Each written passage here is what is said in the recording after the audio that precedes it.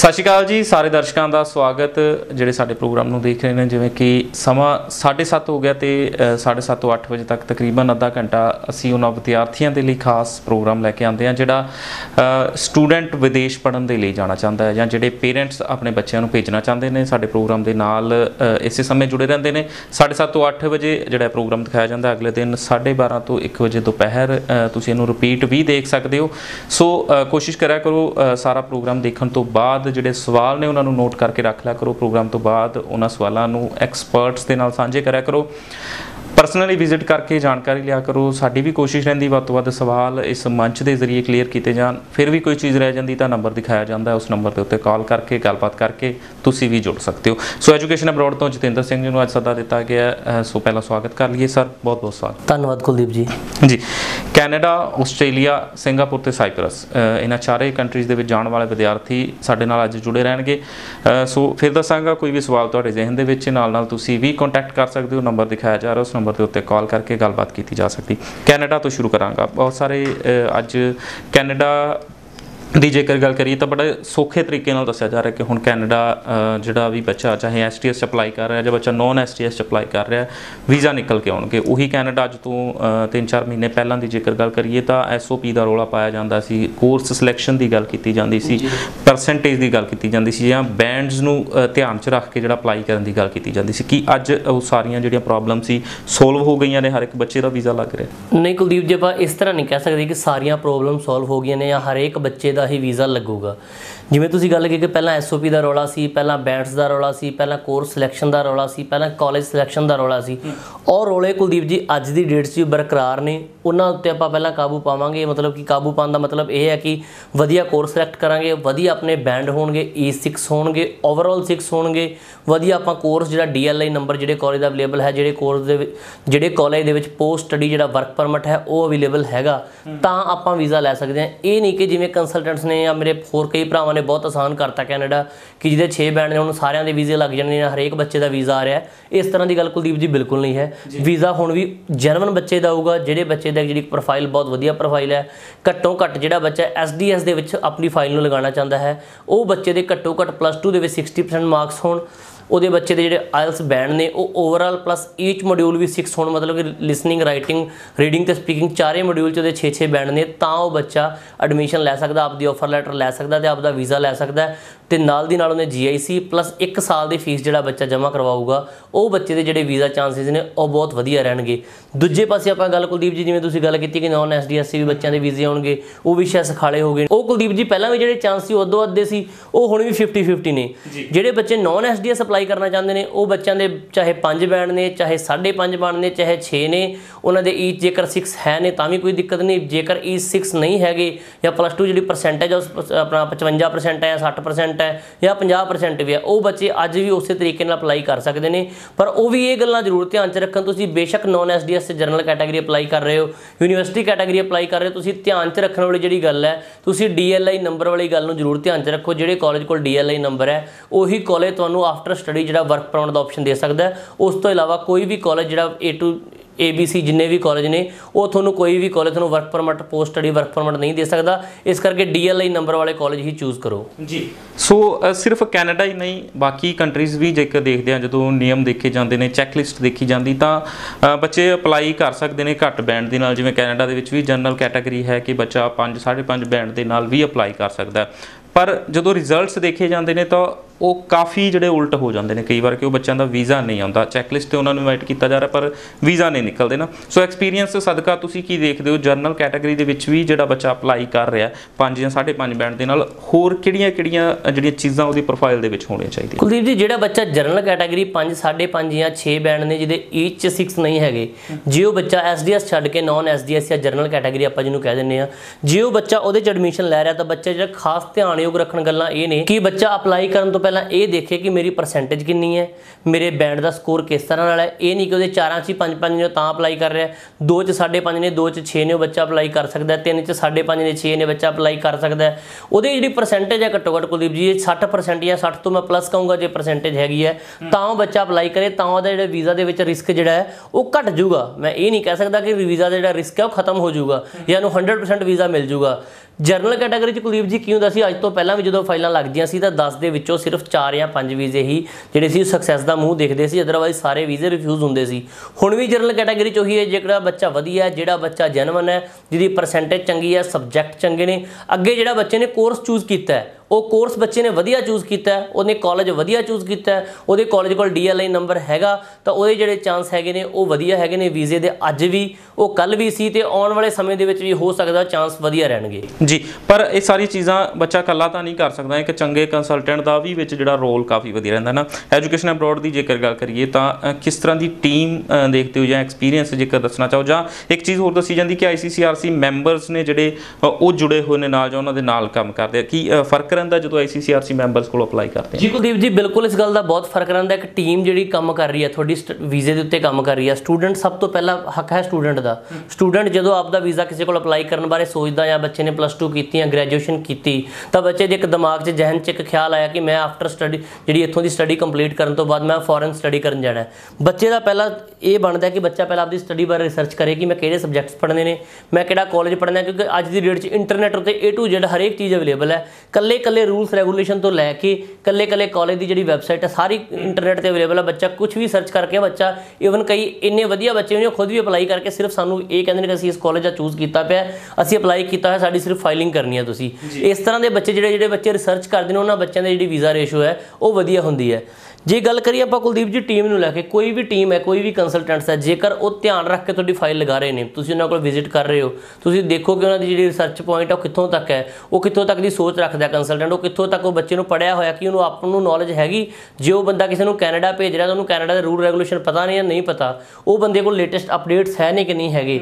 ਇਸੇ ਕਰਕੇ ਜਿਵੇਂ ਆਈਸੀਸੀਆਰਸੀ ਮੈਂਬਰ ਨੇ ਜਾਂ ਆਪਾਂ ਆਸਟ੍ਰੇਲੀਆ 'ਚ ਗੱਲ ਕਰੀਏ ਮਾਰਾ ਏਜੰਟਸ ਹੁੰਦੇ ਨੇ ਫ਼ਰਕ ਕੁਲਦੀਪ ਜੀ ਕਿਤੇ ਨਾ ਕਿਤੇ ਜ਼ਰੂਰ ਰਹਿੰਦਾ ਪਰ ਬਸ਼ਰਤੇ ਜੇਕਰ ਬੰਦਾ ਆਈਸੀਸੀਆਰਸੀ ਮੈਂਬਰ ਹੈਗਾ ਤਾਂ ਉਹ ਅਪਡੇਟ ਨਹੀਂ ਹੈਗਾ। ਤਾਂ ਕੁਲਦੀਪ ਜੀ ਆਈਸੀਸੀਆਰਸੀ ਮੈਂਬਰਸ਼ਿਪ ਦਾ ਵੀ ਫਾਇਦਾ ਨਹੀਂ। ਉਹਦੇ ਨਾਲੋਂ ਜੇ ਵਧੀਆ ਕੋਈ ਕੰਸਲਟੈਂਟ ਵੈਸੇ ਕੋਈ ਪ੍ਰਮੋਟ ਕਰ ਰਿਹਾ, ਕੈਨੇਡਾ ਪ੍ਰਮੋਟ ਕਰ ਰਿਹਾ, ਆਸਟ੍ਰੇਲੀਆ ਪ੍ਰਮੋਟ ਕਰ ਰਿਹਾ, ਮੈਂ ਕਹਿੰਦਾ ਉਹਦੇ ਕੋਲ ਕੋਈ ਕਿਸੇ ਤਰ੍ਹਾਂ ਦੀ ਮੈਂਬਰਸ਼ਿਪ ਨਹੀਂ, ਪਰ ਉਹ ਬੰਦਾ ਸਟੱਡੀ ਕਰ ਰਿਹਾ ਪ੍ਰੋਪਰ ਰੂਲਸ ਰੈਗੂਲੇਸ਼ਨ ਨੂੰ ਦੇਖ ਰਿਹਾ, ਕਿਸੇ ਕੰਟਰੀ ਵਿੱਚ ਕੀ ਅਪਡੇਸ਼ਨ ਸਾਰੀਆਂ ਨੇ, ਕਿਸੇ ਕਾਲਜਸ 'ਚ ਕੀ ਅਪਡੇਸ਼ਨ ਨੇ, ਕਿਤੇ ਨਵੇਂ ਕੀ ਰੂਲ ਰੈਗੂਲੇਸ਼ਨ ਨੇ, ਜੇਕਰ ਉਹ ਬੰਦਾ ਸਟੱਡੀ ਕਰ ਰਿਹਾ ਤਾਂ ਉਹ ਬੰਦਾ ਬਹੁਤ ਵਧੀਆ, ਉਹ ਬੰਦਾ ਤੁਹਾਡੇ ਲਈ ਲਾਹੇਵੰਦ ਹੈ, ਭਰੋਸੇਮੰਦ ਹੈ। ਜਿਹੜੀ Kuldeep ji education abroad consultants ਦੀ ਟੀਮ ਹੈ, ਜਿਹੜੀ ਸਾਡੀ ਟੀਮ ਹੈ, ਮੈਂ ਖੁਦ ਨੂੰ ਲੈ ਕੇ ਚੱਲਾਂ ਮੈਂ ਆਪਣੇ ਸਟਾਫ ਨੂੰ ਲੈ ਕੇ ਗੱਲ ਕਰਾਂ, ਤਾਂ ਅਸੀਂ ਕੁਲਦੀਪ ਜੀ, ਹਰ ਇੱਕ ਜਿਹੜੀ ਕੰਟਰੀ ਉਹਦੇ ਬਾਰੇ ਪ੍ਰੋਪਰ ਇੱਕ ਸਟੱਡੀ ਕਰੀਦੀ ਹੈ ਪ੍ਰੋਪਰ ਰਿਸਰਚ ਕਰੀ ਦੀ ਹੈ, ਕਿਸ ਕੰਟਰੀ ਦੇ ਵਿੱਚ ਜਾ ਕੇ, ਕਿਸ ਕੋਰਸ ਦੇ ਵਿੱਚ ਜਾ ਕੇ, ਕਿਸ ਕਾਲਜ ਦੇ ਵਿੱਚ ਜਾ ਕੇ ਬੱਚੇ ਨੂੰ ਫਾਇਦੇ ਕੀ ਨੇ। ਅਸੀਂ ਪਹਿਲਾਂ ਫਾਇਦਾ ਬੱਚੇ ਦਾ ਦੇਖਦੇ ਹਾਂ ਆਪ ਦਾ ਵਿੱਚ ਉਦੋਂ ਬਾਅਦ ਦੇਖਦੇ ਹਾਂ, ਕਿਉਂਕਿ ਜਿੰਨਾ ਬੱਚਿਆਂ ਦੇ ਵੀਜ਼ੇ ਆਉਣਗੇ, ਜਿੰਨਾ ਬੱਚਿਆਂ ਦੀ ਪ੍ਰੋਫਾਈਲਸ ਅਸੀਂ ਲਗਾਵਾਂਗੇ, ਜਿਹੜੇ ਬੱਚੇ ਸਾਡੇ ਤੋਂ ਖੁਸ਼ ਹੋ ਕੇ ਜਾਣਗੇ, ਉਹਨਾਂ ਬੱਚਿਆਂ ਦੇ ਨਾਲ ਹੀ ਸਾਡੀ ਕੰਪਨੀ ਨੂੰ ਭਾਗ ਹੈ। ਉਹਨਾਂ ਬੱਚਿਆਂ ਨੇ ਹੀ ਅੱਗੇ ਸਾਡੀ ਪ੍ਰੋਮੋਸ਼ਨਸ ਕਰਨੀ ਹੈ। ਸਾਨੂੰ ਕਿਸੇ ਤਰ੍ਹਾਂ ਦੀ ਕੋਈ ਲਾਲਚ ਦੇਣ ਦੀ ਲੋੜ ਨਹੀਂ, ਕਿਸੇ ਫਾਈਲ ਮੰਗਣ ਦੇ ਲਈ, ਕਿਸੇ ਨੂੰ ਕੁਝ ਕਹਿਣ ਦੀ ਲੋੜ ਨਹੀਂ। ਜਿਹੜੇ ਬੱਚੇ ਦੀ ਪ੍ਰੋਫਾਈਲ ਅਸੀਂ ਵਧੀਆ ਪ੍ਰਿਪੇਅਰ ਕਰਾਂਗੇ, ਬੱਚੇ ਦਾ ਵੀਜ਼ਾ ਆਊਗਾ, ਬੱਚਾ ਖੁਦ ਬ ਖੁਦ ਸਾਡੇ ਕੋਲ ਆਊਗਾ। ਜੀ ਸੋ ਕੈਨੇਡਾ ਦੇ ਬਾਰੇ ਜਿਵੇਂ ਗੱਲ ਕਰ ਰਹੇ ਹਾਂ, ਐਜੂਕੇਸ਼ਨ ਅਬਰੋਡ ਤੋਂ ਜਤਿੰਦਰ ਸਿੰਘ ਮੇਰੇ ਨਾਲ ਨੇ। ਕੋਈ ਵੀ ਗੱਲਬਾਤ ਕਰਨਾ ਚਾਹੁੰਦੇ ਹੋ, ਨੰਬਰ ਦਿਖਾਇਆ ਜਾ ਰਿਹਾ, ਉਸ ਨੰਬਰ ਦੇ ਉੱਤੇ ਕਾਲ ਕਰ ਸਕਦੇ ਹੋ। ਮੈਸੇਜ ਕੀਤਾ ਜਾ ਸਕਦਾ ਹੈ ਫੇਸਬੁੱਕ ਉੱਤੇ ਆਫੀਸ਼ੀਅਲ ਪੇਜ ਜਿਹੜਾ ਐਜੂਕੇਸ਼ਨ ਅਬਰੋਡ ਕੰਸਲਟੈਂਟਸ ਦਾ, ਉਹਨੂੰ ਲਾਈਕ ਕਰਕੇ, ਮੈਸੇਜ ਕਰਕੇ ਵੀ ਜਿਹੜਾ ਤੁਸੀਂ ਆਪਣਾ ਸਵਾਲ ਸਾਂਝਾ ਕਰ ਸਕਦੇ ਹੋ। ਕੁਲਦੀਪ ਜੀ, ਮੈਂ ਫੇਸਬੁੱਕ ਦੀ ਗੱਲ ਬੱਚਿਆਂ ਨਾਲ ਜ਼ਰੂਰ ਸਾਂਝੀ ਕਰਨਾ ਚਾਹੂੰਗਾ। ਸਾਡੇ ਪੇਜ ਦੇ ਉੱਤੇ ਆ, ਸਾਡੇ ਜਿਹੜੇ WhatsApp ਨੰਬਰ ਇਹਨਾਂ ਤੇ ਕਾਫੀ ਕੁਐਰੀਜ਼ ਆਉਂਦੀਆਂ ਨੇ। ਉਹਨਾਂ 'ਚ ਬੱਚਿਆਂ ਨੂੰ ਗੁਜ਼ਾਰਿਸ਼ ਹੈ ਇੱਕ, ਕਿ ਤੁਸੀਂ ਕੋਈ ਵੀ ਕੁਐਰੀ ਕਰਦੇ ਹੋ, ਕਦੀ ਵੀ ਇਹ ਨਾ ਸੋਚਿਆ ਕਰੋ ਕਿ ਜਿਹੜੀ ਮੇਰੀ ਸਾਰੀ ਕੁਐਰੀ ਹੈ, ਉਹ ਮੈਂ ਫੋਨ ਤੇ ਲੈ ਲਾਂ, ਮੇਰੀ ਸਾਰੀ ਕੁਐਰੀ ਹੈ, ਮੈਂ WhatsApp ਤੇ ਲੈ ਲਾਂ ਜਾਂ ਸਾਰੀ ਕੁਐਰੀ ਮੈਂ ਫੇਸਬੁੱਕ ਤੇ ਲੈ ਲਾਂ। ਬੱਚਿਆਂ ਦੀ ਸੋਚ ਕੀ ਹੈ? ਫੇਸਬੁੱਕ ਤੇ ਪਹਿਲਾਂ ਬੱਚੇ ਹੈਲੋ ਹਾਈ ਕਰਕੇ ਉਸ ਤੋਂ ਬਾਅਦ ਆਪਦੇ ਡਾਕੂਮੈਂਟਸ ਭੇਜਣਗੇ। ਉੱਥੇ ਅਸੈਸਮੈਂਟ ਮੰਗਣਗੇ, ਉੱਥੇ ਕਾਲਜ ਮੰਗਣਗੇ, ਉੱਥੇ ਕੋਰਸ ਮੰਗਣਗੇ। ਜਦੋਂ ਤੱਕ ਕੁਲਦੀਪ ਜੀ, ਤੁਹਾਡੇ ਅਸੀਂ ਓਰੀਜਨਲ ਡਾਕੂਮੈਂਟਸ ਨਹੀਂ ਦੇਖਦੇ, ਅਸੀਂ ਤੁਹਾਡੇ ਇੱਕ ਪ੍ਰੋਪਰ ਫਾਈਲ ਨੂੰ ਸਰਚ ਨਹੀਂ ਕਰਦੇ, ਤੁਹਾਡੇ ਨਾਲ ਬਹਿ ਕੇ ਔਨ ਟੇਬਲ ਗੱਲ ਨਹੀਂ ਕਰਦੇ, ਤੁਸੀਂ ਕੀ ਇੱਥੇ ਕੀਤਾ, ਕੀ ਤੁਹਾਡੇ ਕਰਨ ਦੇ ਵਿਚਾਰ ਨੇ? ਜਦੋਂ ਤੱਕ ਆਪਣੇ ਵਿਚਾਰ ਵਟਾਂਦਰੇ ਨਹੀਂ ਹੁੰਦੇ, ਆਪਾਂ ਗੱਲ ਸਾਂਝੀ ਨਹੀਂ ਕਰਦੇ, ਉਦੋਂ ਤੱਕ ਅਸੀਂ ਤੁਹਾਨੂੰ ਕਿਵੇਂ ਅਸੈਸਮੈਂਟ ਦੇ ਸਕਦੇ ਹਾਂ? ਇਸ ਕਰਕੇ ਕੋਈ ਵੀ ਬੱਚਾ ਜਦੋਂ ਮੈਸੇਜ ਕਰਦਾ ਹੈ ਕਾਲ ਕਰਦਾ ਹੈ, ਇਹ ਸੋਚ ਕੇ ਕਰਿਆ ਕਰੋ ਕਿ ਤੁਸੀਂ ਇੱਕ ਜਨਰਲ ਇਨਫੋਰਮੇਸ਼ਨ ਲਓ। ਉਸ ਤੋਂ ਬਾਅਦ ਤੁਸੀਂ ਅਪਾਇੰਟਮੈਂਟ ਫਿਕਸ ਕਰੋ ਸਾਡੇ ਆਫਿਸ ਆਓ ਸਾਡੇ ਨਾਲ ਬਹਿ ਕੇ ਗੱਲ ਕਰੋ। ਕਿਸੇ ਵੀ ਤਰ੍ਹਾਂ ਦੀ ਤੁਹਾਨੂੰ ਜਾਣਕਾਰੀ ਚਾਹੀਦੀ ਹੈ, ਅਸੀਂ ਇਹ ਨਹੀਂ ਕਹਿੰਦੇ ਕਿ ਸਿਰਫ ਤੁਹਾਨੂੰ 5 ਮਿੰਟ 10 ਮਿੰਟ ਮਿਲਾਂਗੇ। ਤੁਸੀਂ ਜੇਕਰ 4-5 ਘੰਟੇ 'ਚ ਵੀ ਆਪਣੀ ਜਾਣਕਾਰੀ ਸੈਟੀਸਫਾਈ ਕਰਨਾ ਚਾਹੁੰਦੇ ਹੋ ਤਾਂ ਅਸੀਂ ਸਾਡੇ ਨੂੰ ਖੁੱਲਾ ਟਾਈਮ ਦੇਵਾਂਗੇ। ਤੁਸੀਂ ਕਿਸੇ ਵੀ ਟਾਈਮ ਸਾਡੇ ਆਫਿਸ ਦੇ ਵਿੱਚ 9 ਤੋਂ 6 ਵਜੇ ਦੇ ਵਿੱਚ ਆ ਕੇ ਅਪਾਇੰਟਮੈਂਟ ਲੈ ਕੇ ਗੱਲਬਾਤ ਕਰ ਸਕਦੇ ਹੋ।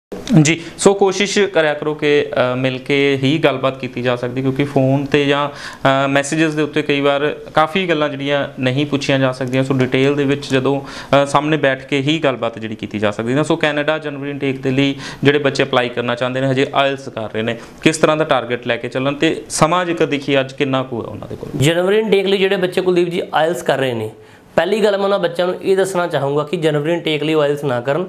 ਜੇ ਉਹਨਾਂ ਨੇ ਆਇਲਸ ਕਰ ਰਹੇ ਨੇ ਤਾਂ ਉਹਨਾਂ ਦੇ ਮਈ ਇਨਟੇਕ 'ਚ ਕੰਮ ਆਊਗੀ। ਕਿਉਂਕਿ ਜਨਵਰੀ ਇਨਟੇਕ ਆਲਮੋਸਟ 99% ਫੁੱਲ ਹੈ। ਜਿਹੜੇ ਕੁਝ ਇੱਕ ਕੋਰਸ ਰਹਿ ਗਏ ਨੇ, ਜਿਹੜੇ ਕਾਫੀ ਘੱਟ ਬੱਚੇ ਪਸੰਦ ਕਰਦੇ ਨੇ ਕੁਝ ਇਹੋ ਜਿਹੇ ਕੋਰਸ ਨੇ ਜਿਨ੍ਹਾਂ 'ਚ ਹਜੇ ਪਈਆਂ ਨੇ ਸੀਟਾਂ, ਉਹਨਾਂ ਕੋਰਸਿਸ ਨੂੰ ਛੱਡ ਕੇ 99% ਸੀਟਾਂ ਫੁੱਲ ਹੋ ਚੁੱਕੀਆਂ ਨੇ। ਬੱਚੇ ਆਪਦੀ ਆਇਲਸ ਨੂੰ ਜੇਕਰ ਤੁਸੀਂ ਟਾਈਮ ਚਾਹੁੰਦੇ ਹੋ ਥੋੜਾ ਜਿਹਾ ਹੋਰ ਟਾਈਮ ਲੈ ਕੇ ਆਇਲਸ ਇੰਪਰੂਵ ਕਰੋ। ਘੱਟੋ ਘੱਟ ਜਿਹੜਾ ਟੀਚਾ ਪਲੱਸ 2 ਵਾਲੇ ਬੱਚੇ ਵਾਸਤੇ ਆਪਦਾ 6.5 ਬੈਂਡ ਦਾ ਰੱਖੋ, ਤਾਂ ਕਿ ਤੁਹਾਡੇ 6 ਈਚ ਈਜ਼ੀਲੀ ਆ ਕੇ ਤੁਸੀਂ ਕੱਲ ਨੂੰ ਅਪਲਾਈ ਕਰਕੇ ਤੇ ਵੀਜ਼ਾ ਲੈ ਸਕੋ। ਜੀ ਸੋ ਕੈਨੇਡਾ ਦੇ ਨਾਲ ਨਾਲ ਆਸਟ੍ਰੇਲੀਆ ਦੇ ਲਈ ਵੀ ਕਾਫੀ ਸਾਰੇ ਬੱਚਿਆਂ ਦੇ ਜਿਹੜੇ ਸਵਾਲ ਰਹਿੰਦੇ ਨੇ, ਕਾਫੀ ਬੱਚੇ ਜਿਹੜੇ ਕੁਐਰੀਜ਼ ਕਰਦੇ ਨੇ ਨਾ ਆਫਿਸ ਦੇ ਵਿੱਚ ਵੀ ਤੁਹਾਡੇ ਕੋਲ ਵਿਜ਼ਿਟ ਕਰਦੇ ਹੋਣਗੇ। 5.5 ਬੈਂਡ ਤੇ ਜੇਕਰ ਅੱਜ ਬੱਚਾ ਅਪਲਾਈ ਕਰ ਰਿਹਾ, ਤਾਂ ਕੀ ਦੇਖਦੇ ਹੋ? ਕਿੰਨੇ ਕੁ ਚਾਂਸਸ ਨੇ ਵੀਜ਼ਾ ਆਉਣ ਦੇ ਕੁਲਦੀਪ ਜੀ 5.5 ਬੈਂਡ ਤੇ ਜੇਕਰ ਬੱਚਾ ਅਪਲਾਈ ਕਰ ਰਿਹਾ, ਜਿਹੜੇ ਵੀਜ਼ਾ ਚਾਂਸਸ ਨੇ, ਉਹ ਮੈਂ ਕਹੂੰਗਾ ਕਿ ਬਹੁਤ ਹੀ ਜ਼ਿਆਦਾ ਬ੍ਰਾਈਟ ਨੇ, ਬਹੁਤ ਹੀ ਜ਼ਿਆਦਾ ਵਧੀਆ ਨੇ, ਪਰ ਬਸ਼ਰਤੇ ਬੱਚੇ ਦੀ ਪ੍ਰੋਫਾਈਲ ਸੋਹਣੀ ਹੋਣੀ ਚਾਹੀਦੀ ਹੈ। ਕੱਲੇ 5.5 ਬੈਂਡ ਨੇ ਵੀਜ਼ਾ ਨਹੀਂ ਲੈ ਕੇ ਦੇਣਾ ਕੱਲੇ 6 ਬੈਂਡ ਜਾਂ 7 ਬੈਂਡ ਜਾਂ 8 ਬੈਂਡ ਨੇ ਵੀਜ਼ਾ ਨਹੀਂ ਲੈ ਕੇ ਦੇਣਾ। ਵੀਜ਼ਾ ਲੈ ਕੇ ਦੇਣਾ ਤੁਹਾਡੀ ਪੁਰਾਣੀ ਕੁਆਲੀਫਿਕੇਸ਼ਨ ਹੈ, ਤੁਹਾਡੀ 10th ਕੀ ਹੈ, ਤੁਹਾਡੀ ਪਲੱਸ 2 ਕੀ ਹੈ। ਜੇਕਰ ਤੁਸੀਂ ਕੋਈ ਟਾਈਮ ਜੌਬ ਕੀਤੀ ਹੈ ਜਾਂ ਕੋਈ ਤੁਸੀਂ ਹੋਰ ਕੋਰਸ ਕੀਤਾ ਤਾਂ ਉਹਦੀ ਕੁਆਲੀਫਿਕੇਸ਼ਨ ਕੀ ਹੈ, ਉਹਦੇ ਨੰਬਰਸ ਕਿੰਨੇ ਨੇ, ਉਹ ਸਾਰੀਆਂ ਚੀਜ਼ਾਂ ਮੈਟਰ ਕਰਦੀਆਂ ਨੇ। ਤੁਹਾਡੀ ਐਸਓਪੀ ਮੈਟਰ ਕਰਦੀ ਹੈ, ਤੁਹਾਡਾ ਜੀਟੀ ਕ੍ਰਾਈਟੇਰੀਆ ਤੁਸੀਂ ਫਾਲ ਕਰਦੇ ਹੋ ਕਿ ਨਹੀਂ ਕਰਦੇ, ਇਹ ਚੀਜ਼ਾਂ ਮੈਟਰ ਕਰਦੀਆਂ ਨੇ ਵੀਜ਼ਾ ਲੈਣ ਦੇ ਲਈ। ਜੇਕਰ ਕੋਈ ਵੀ ਬੱਚਾ ਜਿਹੜਾ 5.5 ਬੈਂਡ ਤੇ ਅਪਲਾਈ ਕਰ ਰਿਹਾ ਉਹ ਬੱਚਾ ਇਹ ਨਾ ਸੋਚ ਕੇ ਚੱਲੇ ਕਿ ਮੇਰੇ 5.5 ਬੈਂਡ ਆ ਗਏ, ਮੈਂ ਅਪਲਾਈ ਕਰਾਂ ਰਿਹਾ ਤੇ ਮੇਰਾ ਵੀਜ਼ਾ ਆਉਣਾ ਹੀ ਆਉਣਾ ਹੈ। ਜੇਕਰ ਬੱਚੇ ਦੀ ਪ੍ਰੋਫਾਈਲ ਵਧੀਆ ਹੈ ਨੰਬਰ ਜਿਹੜੇ 60 ਹੈਗੇ ਜਾਂ 55 ਘੱਟੋ ਘੱਟ ਬੱਚੇ ਦੇ ਨੰਬਰ ਹੈਗੇ, ਉਹ ਬੱਚੇ ਜੇਕਰ ਅਪਲਾਈ ਕਰਦੇ ਨੇ ਤਾਂ ਉਹਨਾਂ ਬੱਚਿਆਂ ਜਿਹੜੇ ਚਾਂਸ ਨੇ ਬ੍ਰਾਈਟ ਨੇ। ਜਿਹੜੇ ਬੱਚੇ 50% ਨੰਬਰ ਨੇ, ਉਹ ਸੋਚਣ ਜਾਂਦੇ ਅਸੀਂ ਚਾਂਸ ਲੈ ਲਈ ਅਸੀਂ ਪਲੱਸ 2 ਕੀਤੀ ਹੈ 16 17 18 ਪਾਸ ਆਊਟ ਹੈ। ਉਹ ਬੱਚੇ ਇਹ ਗੱਲ ਧਿਆਨ 'ਚ ਰੱਖਣਗੇ, ਜੇਕਰ ਤੁਸੀਂ 5.5 ਬੈਂਡ ਤੇ ਅਪਲਾਈ ਕਰ ਰਹੇ ਹੋ, ਤੇ ਤੁਹਾਡਾ 50 ਤੋਂ ਲੈ ਕੇ 60000 ਰੁਪਏ ਦਾ ਨੁਕਸਾਨ ਵੀ ਜ਼ਰੂਰ ਹੈ, ਕਿਉਂਕਿ ਐਪਲੀਕੇਸ਼ਨ ਫੀਸ ਨੂੰ ਲੈ ਕੇ ਜਾਂ ਐਮਬੈਸੀ ਫੀਸ ਨੂੰ ਲੈ ਕੇ ਕੁਝ ਇਹੋ ਜਿਹੇ ਚੀਜ਼ਾਂ ਹੁੰਦੀਆਂ ਜਿਹੜੇ ਤੁਹਾਡੇ ਪੈਸੇ ਗਏ ਵਾਪਸ ਨਹੀਂ ਆਉਂਦੇ ਇਸ ਕਰਕੇ ਬੱਚੇ ਇਹਨਾਂ ਚੀਜ਼ਾਂ ਨੂੰ ਧਿਆਨ 'ਚ ਰੱਖਣ ਤੇ ਅਪਲਾਈ ਕਰਨ ਤੋਂ ਪਹਿਲਾਂ ਜ਼ਰੂਰ ਸੋਚਣ ਕਿ ਜੇਕਰ ਅਸੀਂ 5.5 ਬੈਂਡ ਤੇ ਅਪਲਾਈ ਕਰਨਾ, ਅਸੀਂ ਡਿਪਲੋਮਾ ਸਟੱਡੀ ਦੇ ਵਿੱਚ ਜਾ ਰਹੇ ਹਾਂ, ਜਿਹੜਾ ਕਿ ਹਾਇਰ ਐਜੂਕੇਸ਼ਨ ਦੇ ਅੰਡਰ ਨਹੀਂ ਆਂਦਾ ਜਿਹੜਾ ਵੈਟ ਦੇ ਅੰਡਰ ਆਂਦਾ ਹੈ, ਇਹ ਚੀਜ਼ਾਂ ਬੱਚੇ ਧਿਆਨ ਦੇ ਵਿੱਚ ਰੱਖ ਕੇ ਚੱਲਣ ਤੇ ਆਪਦੇ ਖਰਚਿਆਂ ਨੂੰ ਜ਼ਰੂਰ ਸੋਚ ਕੇ ਚੱਲਣ। ਇਹ ਨਹੀਂ ਕਿ ਤੂੰ 5.5 ਬੈਂਡ ਤੇ ਅਪਲਾਈ ਕੀਤਾ ਤੁਹਾਡਾ ਵੀਜ਼ਾ ਆ ਜਾਣਾ ਹੈ। ਦੂਜੀ ਗੱਲ ਕੁਲਦੀਪ ਜੀ ਜਿਹੜੇ ਮੈਕਸਿਮਮ ਬੱਚੇ ਸਾਡੇ ਕੋਲ ਵੀ ਕੁਐਰੀ ਹੈ ਹੋਰ ਲੋਕਾਂ ਕੋਲ ਵੀ ਸ਼ਾਇਦ ਕੁਐਰੀ ਹੋਊਗੀ। ਬੱਚਾ ਜਿਹੜਾ ਅੱਜ ਦੀ ਡੇਟ 'ਚ ਕੀ ਮੰਗ ਰਿਹਾ ਕਿ ਮੈਂ ਫੀਸ ਆਫਟਰ ਵੀਜ਼ਾ ਪੇ ਕਰਨੀ ਹੈ? ਜੀ। ਫੀਸ ਆਫਟਰ ਵੀਜ਼ਾ ਪੇ ਕਿਉਂ ਕਰਨੀ ਹੈ? ਫੀਸ ਆਫਟਰ ਵੀਜ਼ਾ ਦਾ ਕੋਈ ਸਿਸਟਮ ਹੀ ਨਹੀਂ ਬਣਦਾ ਕੁਲਦੀਪ ਜੀ। ਆਪਾਂ ਕਿਤੇ ਵੀ ਐਡਮਿਸ਼ਨ ਲੈਣਾ ਜਦੋਂ ਆਪਣਾ ਐਡਮਿਸ਼ਨ ਹੁੰਦੀ ਹੈ ਆਪਾਂ ਫੀਸ ਪੇ ਕਰਦੇ ਹਾਂ ਤਾਂ ਆਪਣੀ ਐਡਮਿਸ਼ਨ ਕਨਫਰਮ ਹੁੰਦੀ ਹੈ।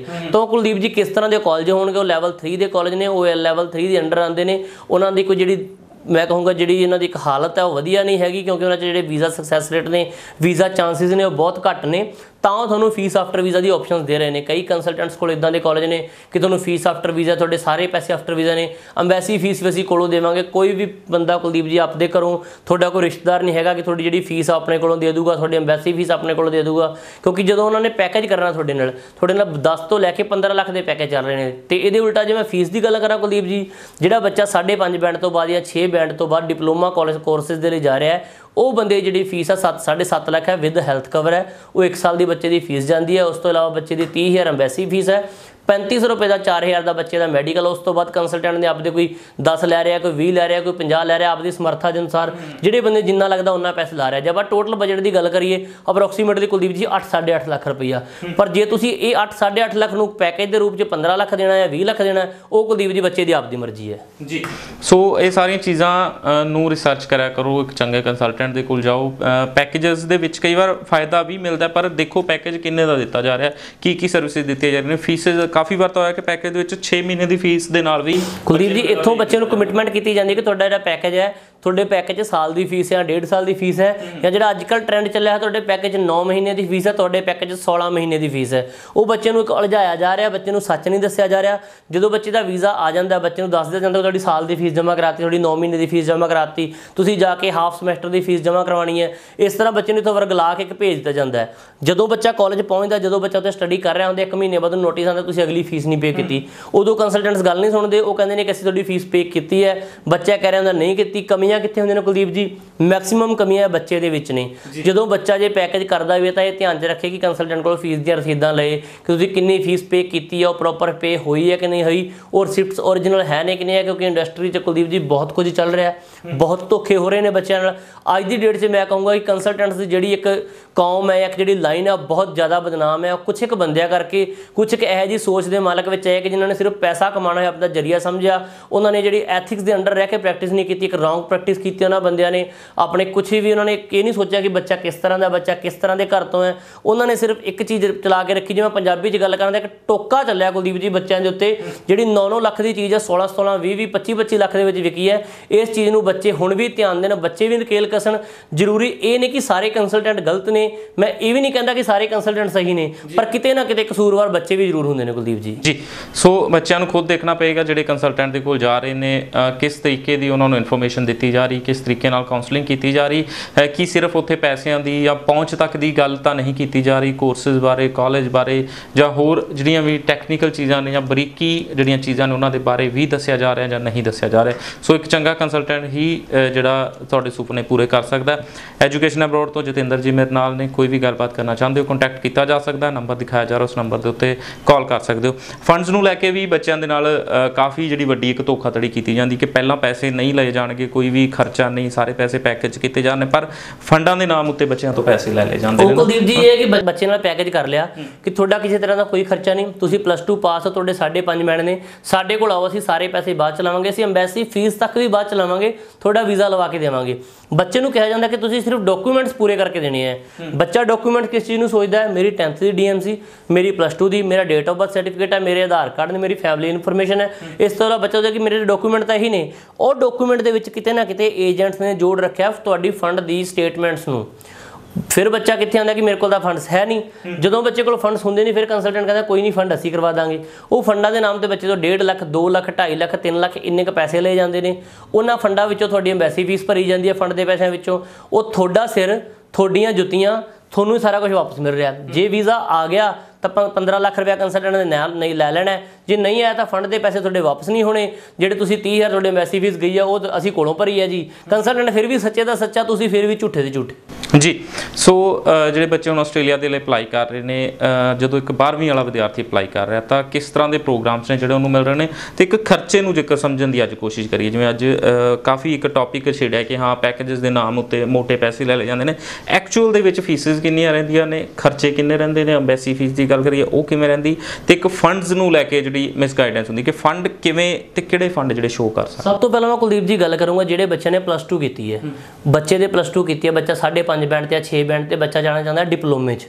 ਜਿਹੜੇ ਡਿਪਲੋਮਾ ਕੋਰਸਿਸ ਨੇ ਕੁਲਦੀਪ ਜੀ ਕਾਲਜਸ ਦੇ ਵਿੱਚ ਅਵੇਲੇਬਲ ਹੈਗੇ। ਕਾਲਜ ਤੁਸੀਂ ਚੂਜ਼ ਕਰੋ ਘੱਟੋ ਘੱਟ ਲੈਵਲ 1 ਦਾ ਜਾਂ ਲੈਵਲ 2 ਦਾ ਲੈਵਲ 3 ਦੇ ਕਾਲਜਸ ਨੂੰ ਨਾ ਦੇਖੋ। ਕੁਲਦੀਪ ਜੀ ਜਿਹੜੀ ਫੀਸ ਦੀ ਆਪਾਂ ਦੂਜੇ ਪਾਸੇ ਗੱਲ ਕਰੀਏ ਫੀਸ ਹੈ ਜਿਹੜੀ 10000 ਡਾਲਰ ਤੋਂ ਸ਼ੁਰੂ ਹੋ ਕੇ 14 ਤੋਂ 15000 ਡਾਲਰ ਤੱਕ ਸਾਲਾਨਾ ਫੀਸ ਹੈ। ਜੇ ਆਪਾਂ 15000 ਨੂੰ 50 ਦੇ ਰੇਟ ਨਾਲ ਵੀ ਦੇਖੀਏ ਤਾਂ 7.5 ਲੱਖ ਬੱਚੇ ਦੀ ਸਾਲ ਦੀ ਫੀਸ ਹੈ। ਬੱਚੇ ਦਾ ਹੈਲਥ ਕਵਰ ਵਿੱਚ ਕਵਰ ਆਊਗਾ ਬੱਚੇ ਦਾ ਨਾਲ। 30000 ਬੱਚੇ ਦੇ ਐਮਬੈਸੀ ਫੀਸ ਜਿਵੇਂ ਪਹਿਲਾਂ ਮੈਂ ਦੱਸ ਕੇ ਹਟਿਆ ਕੁਲਦੀਪ ਜੀ। ਦੂਜੇ ਪਾਸੇ ਬੱਚੇ ਨੇ ਡਿਗਰੀ ਵਾਲੇ ਜਿਹੜੇ ਬੱਚੇ ਚਾਹਵਾਨ ਨੇ ਕਿਸੇ ਡਿਗਰੀ ਕਰਨਾ ਚਾਹੁੰਦੇ ਆ ਉਹ ਬੱਚੇ ਘੱਟੋ ਘੱਟ 6 band not less than 5.5 band ਜਾਂ ਇੱਕ ਦੇ ਮੋਡਿਊਲ 'ਚ ਜੇਕਰ 5 ਬੈਂਡ ਨੇ, ਉਹ ਬੱਚੇ ਸਰਕਾਰੀ ਕਾਲਜਾਂ ਦੇ ਵਿੱਚ ਜਾਂ ਉਹ ਬੱਚੇ ਜਿਹੜੇ ਯੂਨੀਵਰਸਿਟੀ ਦੇ ਵਿੱਚ ਮੈਂ ਗੱਲ ਕਰਾਂ, ਉਹਨਾਂ ਵਿੱਚ ਡਿਗਰੀ ਦੇ ਆਪਸ਼ਨ ਲਈ ਜਾ ਸਕਦੇ ਨੇ। ਡਿਗਰੀ ਜਿਹੜੀ ਹੈ ਕੁਲਦੀਪ ਜੀ, ਉਹ 3 ਸਾਲ ਦੀ ਹੈ, ਡਿਪਲੋਮਾ 2 ਸਾਲ ਦਾ ਹੈ। ਡਿਪਲੋਮਾ 'ਚ ਪਹਿਲਾਂ ਸਰਟੀਫਿਕੇਟ 3 ਹੁੰਦਾ ਫਿਰ ਸਰਟੀਫਿਕੇਟ 4 ਹੈ ਫਿਰ ਐਡਵਾਂਸ ਡਿਪਲੋਮਾ ਹੋਣਾ ਡਿਗਰੀ ਵਿੱਚ Kuldeep ji first year second year final year 3 ਸਾਲ ਜਾਂਦੇ ਨੇ। ਡਿਗਰੀ ਦੇ ਪਹਿਲੇ ਸਾਲ ਦੀ ਬੱਚੇ ਜਿਹੜੀ ਫੀਸ ਹੈ, ਉਹ ਘੱਟੋ ਘੱਟ 25000 ਡਾਲਰ ਤੋਂ ਸ਼ੁਰੂ ਹੋ ਜਾਂਦੀ ਹੈ। ਜੇ ਆਪਾਂ ਕਾਲਜ ਨਾਲ ਕੰਪੈਰੀਜ਼ਨ ਕਰੀਏ ਤਾਂ ਦੁੱਗਣੀ ਫੀਸ ਹੈ। ਇਸੇ ਕਰਕੇ ਬੱਚੇ ਥੋੜੇ ਨੇ ਡਿਪਲੋਮਾ ਵੱਲ ਜ਼ਿਆਦਾ ਆ ਜਾਂਦੇ ਨੇ। ਪਰ ਜੇ ਮੈਂ ਸਕਸੈਸ ਰੇਟ ਦੀ ਗੱਲ ਕਰਾਂ ਕੁਲਦੀਪ ਜੀ, ਉਹ ਡਿਗਰੀ 'ਚ ਥੋੜਾ ਜਿਹਾ ਕਿਤੇ ਨਾ ਕਿਤੇ ਵੱਧ ਹੈ। ਡਿਪਲੋਮੇ ਥੋੜਾ ਕਿਤੇ ਨਾ ਕਿਤੇ ਘੱਟ ਹੈ। ਪਰ ਬੱਚੇ ਆਪਦੀ ਪ੍ਰੋਫਾਈਲ ਧਿਆਨ ਰੱਖ ਕੇ ਚੂਜ਼ ਕਰਨ। ਜੇਕਰ ਬੱਚਿਆਂ ਦੀ ਚੂਜ਼ ਇਹ ਕਰਦੇ ਨੇ ਕਿ ਅਸੀਂ ਡਿਪਲੋਮਾ ਹੀ ਜਾਣਾ ਅਸੀਂ ਖਰਚਾ ਘੱਟ ਕਰਨਾ ਚਾਹੁੰਦੇ ਹਾਂ, ਤਾਂ ਉਸ ਤਰੀਕੇ ਨਾਲ ਕਾਲਜ ਵਧੀਆ ਚੁਣਨ ਕੋਰਸ ਵਧੀਆ ਚੁਣਨ, ਤਾਂ ਬੱਚਿਆਂ ਦੇ ਡਿਪਲੋਮੇ ਦੇ ਵੀ ਕਾਫੀ ਅੱਛੇ ਵੀਜ਼ਾਸ ਆ ਰਹੇ ਨੇ। ਜੀ, ਸੋ ਜਿਹੜੇ ਵਿਦਿਆਰਥੀ ਆਸਟ੍ਰੇਲੀਆ ਦੇ ਲਈ ਅਪਲਾਈ ਕਰ ਰਹੇ ਨੇ ਨੈਕਸਟ ਇਨਟੇਕ ਕਿਹੜਾ ਉਹਨਾਂ ਦੇ ਲਈ ਤੇ ਕੀ ਡੈਡਲਾਈਨਸ ਨੇ, ਕਦੋਂ ਤੱਕ ਬੱਚੇ ਅਪਲਾਈ ਕਰਦੇ ਨੇ? ਜਿਹੜੇ ਬੱਚੇ ਕੁਲਦੀਪ ਜੀ ਹੁ- ਹੁਣੇ ਜਿਵੇਂ ਆਪਾਂ ਗੱਲ ਕਰਕੇ ਹਟਿਆ ਕਿ ਡਿਪਲੋਮਾ ਐਡਵਾਂਸ ਡਿਪਲੋਮਾ ਵਿੱਚ ਜਾਣਾ ਚਾਹੁੰਦੇ ਨੇ, ਉਹਨਾਂ ਬੱਚਿਆਂ ਦੇ ਜਿਹੜੇ ਇਨਟੇਕ ਦੀ ਮੈਂ ਗੱਲ ਕਰੂੰ, ਕਈ ਆਪਣੇ ਕੋਲ ਇਹੋ ਜਿਹੇ ਕਾਲਜ ਹੈਗੇ ਨੇ ਜਿਨ੍ਹਾਂ ਦੇ 1 ਮੰਥ ਜਾਂ 2 ਮੰਥ ਬਾਅਦ ਰੈਗੂਲਰ ਇਨਟੇਕ ਨੇ, ਸਾਲ ਦੇ ਵਿੱਚ 7 ਤੋਂ ਲੈ ਕੇ 8 ਇਨਟੇਕ ਚੱਲ ਰਹੇ ਨੇ। ਦੂਜੇ ਪਾਸੇ ਜਿਹੜੇ ਬੱਚੇ ਡਿਗਰੀ ਲਈ ਜਾਣਾ ਚਾਹੁੰਦੇ ਨੇ, ਉਹਨਾਂ ਬੱਚਿਆਂ ਦੇ ਜਿਹੜੇ ਮੇਜਰ ਇਨਟੇਕ ਨੇ ਉਹ ਫਰਵਰੀ, ਜੁਲਾਈ ਤੇ ਅਕਤੂਬਰ ਦੇ ਇਨਟੇਕ ਹੁੰਦੇ ਨੇ। ਹੁਣ ਜਿਹੜੇ ਬੱਚੇ ਯੂਨੀਵਰਸਿਟੀ ਲਈ ਜਾਣਾ ਚਾਹੁੰਦੇ ਨੇ, ਬੱਚੇ ਕਿਸੇ ਵੀ ਯੂਨੀਵਰਸਿਟੀ ਜਾਣਾ ਚਾਹੁੰਦੇ ਨੇ ਜਾਂ ਬੱਚੇ ਪੋਲੀਟੈਕਨੀਕਲ ਕਾਲਜ ਦੇ ਵਿੱਚ ਜਾਣਾ ਚਾਹੁੰਦੇ ਨੇ, ਉਹ ਬੱਚਿਆਂ ਨੇ ਹੁਣ ਫਰਵਰੀ ਆਪਣਾ ਇਨਟੇਕ ਹੈਗਾ ਕਮਿੰਗ ਤੇ ਡੈਡਲਾਈਨ ਦੀ ਜੇ ਮੈਂ ਗੱਲ ਕਰਾਂ ਕੁਲਦੀਪ ਜੀ, ਜਿੰਨੀ ਜਲਦੀ ਕੋਈ ਬੱਚਾ ਅਪਲਾਈ ਕਰੂਗਾ ਉਨੀ ਜਲਦੀ ਬੱਚਾ ਵੀਜ਼ਾ ਗੈਟ ਕਰੂਗਾ ਉਨੀ ਜਿਹੜੇ ਬਰਡਨ ਨੇ ਬੱਚੇ ਤੇ ਘੱਟ ਆਉਣਗੀਆਂ। ਬੱਚਾ ਛੇਤੀ ਅਪਲਾਈ ਕਰੂਗਾ, ਕਾਗਜ਼ ਪੱਤਰ ਪੂਰੇ ਕਰਨ 'ਚ ਜਿਹੜਾ ਟਾਈਮ ਲੱਗਦਾ ਉਹ ਟਾਈਮ ਖਰਾਬ ਨਹੀਂ ਹੋਊਗਾ। ਬੱਚਾ ਟਾਈਮ ਤੋਂ ਪਹਿਲਾਂ ਆਪਦਾ ਵੀਜ਼ਾ ਲੈ ਕੇ ਰੱਖ ਸਕਦਾ, ਤੇ ਟਾਈਮ ਤੋਂ ਪਹਿਲਾਂ ਉੱਥੇ ਜਾ ਕੇ ਆਪਦੀ ਰਿਸਰਚ ਕਰ ਸਕਦਾ ਹੈ। ਇਹ ਨਹੀਂ ਕਿ ਟਾਈਮ ਤੋਂ ਪਹਿਲਾਂ ਵੀਜ਼ਾ ਲੈ ਕੇ ਉੱਥੇ ਜਾ ਕੇ ਕੰਮ ਕਰ ਸਕਦਾ ਹੈ। ਰਿਸਰਚ ਦਾ ਮਤਲਬ ਇਹ ਹੈ ਬੱਚਾ ਆਪਣੇ ਰਹਿਣ ਖਾਣ ਲਈ ਜਗ੍ਹਾ ਲੱਭ ਸਕਦਾ, ਵਧੀਆ ਰਹਿਣ ਲਈ। ਬੱਚੇ ਨੇ ਨੀਅਰ ਬਾਈ ਕਿੱਥੇ ਜਾਣਾ, ਬੱਚੇ ਨੇ ਕਾਲਜ ਨੂੰ ਕਨਵਿੰਸ ਕੀ ਜਾਂਦਾ, ਬੱਚੇ ਦਾ ਕਾਲਜ ਕਿਸ ਤਰ੍ਹਾਂ ਦਾ ਹੈ। ਬੱਚਾ ਇਹ ਚੀਜ਼ਾਂ ਤੇ ਫੋਕਸ ਕਰ ਸਕਦਾ ਜਾ ਕੇ। ਇਹ ਨਾ ਕਰਨ ਬੱਚੇ ਕਿ ਜੇ ਫਰਵਰੀ ਇਨਟੇਕ ਹੈ ਤਾਂ ਨਵੰਬਰ 'ਚ ਵੀਜ਼ਾ ਲੈ ਲਿਆ, ਤਾਂ ਨਵੰਬਰ 'ਚ ਜਾ ਕੇ ਉੱਥੇ ਜਾ ਕੇ ਫਰਵਰੀ ਤੱਕ ਕੰਮ ਕਰਨਾ ਸ਼ੁਰੂ ਕਰਤਾ। ਇਹ ਇਲੀਗਲ ਸੀ ਇਲੀਗਲ ਹੈ ਤੇ ਆਉਣ ਵਾਲੇ ਸਮੇਂ 'ਚ ਵੀ ਚੀਜ਼ਾਂ ਇਲੀਗਲ ਨੇ। ਬੱਚਾ ਇਲੀਗਲ ਐਕਟੀਵਿਟੀਜ਼ ਤੋਂ ਜਿੰਨਾ ਦੂਰ ਰਹੂਗਾ ਉਹਨਾਂ ਬੱਚਾ ਲਾਹੇਵੰਦ ਰਹੂਗਾ ਉਹਨਾਂ ਬੱਚਾ ਉੱਥੇ ਫਾਇਦੇ 'ਚ ਰਹੂਗਾ। ਜੀ ਜਿਹੜੇ ਬੱਚੇ ਗ੍ਰੈਜੂਏਟ ਨੇ ਜਾਂ ਮਾਸਟਰਸ ਕੀਤੀ ਹੋਈ ਹੈ ਤੇ ਮੈਰਿਜ ਤੋਂ ਬਾਅਦ ਜਾਣਾ ਚਾਹੁੰਦੇ ਨੇ ਆਪਣੇ ਹਸਬੰਡ ਜਾਂ ਵਾਈਫ ਨੂੰ ਨਾਲ ਲੈ ਕੇ ਜਾਣਾ ਚਾਹੁੰਦੇ ਨੇ 6 ਬੈਂਡ ਤੇ ਕਿੰਨੀਆਂ ਆਪਸ਼ਨ ਨੇ? 6.5 ਬੈਂਡ ਤੇ ਕਿੰਨੀਆਂ ਆਪਸ਼ਨ ਨੇ? ਜਿਹੜੇ ਬੱਚੇ ਕੁਲਦੀਪ ਜੀ ਗ੍ਰੈਜੂਏਟ ਨੇ ਉਹਨਾਂ ਨੇ ਜੇਕਰ ਪੀਟੀ ਕੀਤੀ ਹੋਈ ਹੈ ਆਇਲਸ ਕੀਤੀ ਹੋਈ ਹੈ ਟਫਲ ਕੀਤੀ ਹੋਈ ਹੈ ਉਹ ਬੱਚਿਆਂ ਦੇ ਲਈ 6 ਬੈਂਡ ਤੇ ਕਾਫੀ ਵਧੀਆ ਆਪਸ਼ਨ ਨੇ ਜੇ ਆਪਾਂ ਪੀਟੀ ਤੇ ਟਫਲ ਦੇ ਸਕੋਰ ਨੂੰ ਇਹਦੇ ਇਕੁਐਂਸ ਲੈ ਕੇ ਚੱਲੀਏ। ਉਹਨਾਂ ਬੱਚਿਆਂ ਕੋਲ 6 ਬੈਂਡ ਨਾਟ ਲੈਸ ਦੈਨ 5.5 ਇੱਕ ਦੇ ਮੋਡਿਊਲ 'ਚ ਜੇਕਰ 5.5 ਬੈਂਡ ਨੇ, ਉਹ ਬੱਚੇ ਤਾਂ ਵੀ ਅਪਲਾਈ ਕਰ ਸਕਦੇ ਨੇ, ਪਰ ਬਸ਼ਰਤੇ ਐਲੀ ਕੋਰਸ ਦੇ ਨਾਲ। ਐਲੀ ਕੋਰਸ ਦਾ ਮਤਲਬ ਹੈ ਕਿ ਉੱਥੇ ਆਇਲਸ ਵਾਂਗ ਆਪਣੀ ਪੜ੍ਹਾਈ ਹੁੰਦੀ ਹੈ ਇੰਗਲਿਸ਼ ਦੇ, ਉਹਦੇ ਆਪਾਂ ਨੂੰ ਟੈਸਟ ਦੇਣਾ ਪੈਂਦਾ ਹੈ।